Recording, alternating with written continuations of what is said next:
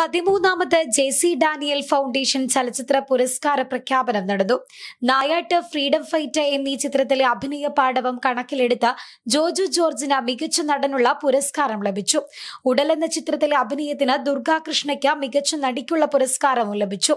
മികച്ച അഭിനേതാവിനുള്ള special jury പുരസ്കാരം ഉണ്ണി മുകുതനാണ് ലഭിച്ചത്. ചിത്രം മേപ്പടിയാനാണ്. മികച്ച ചിത്രത്തിനുള്ള പുരസ്കാരം കൃഷാന്ത് താർക്കി സംവിധാനം ചെയ്ത ആവാസ വ്യൂഹത്തിന് ലഭിച്ചു മധുരമൊരുക്കിയ അഹമ്മദ് കബീറാണ് മികച്ച സംവിധായകൻ. ഫാദർ വർഗീസ് ലാൽ സംവിധാനം ചെയ്ത എറു എന്ന ചിത്രമാണ് മികച്ച രണ്ടാമത്തെ ചിത്രമായി തിരഞ്ഞെടുത്തത്.